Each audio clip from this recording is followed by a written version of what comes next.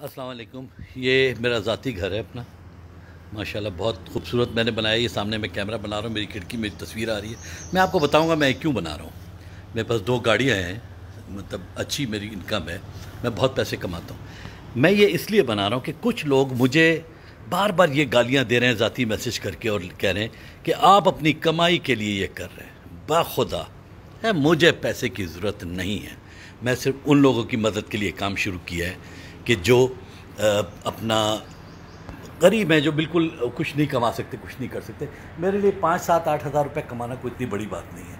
मैं आपको हकीकत बता रहा हूँ। बर मेहरबानी, लोगों की बातों में ना आए। जैसे मैं आपको कह रहा हूँ कि अपनी दो वीडियो बना के और पचास मिनट के लिए लाइव होके जाएँ, आप यकीन देखेंगे आपको बहुत फ़ायदा होगा।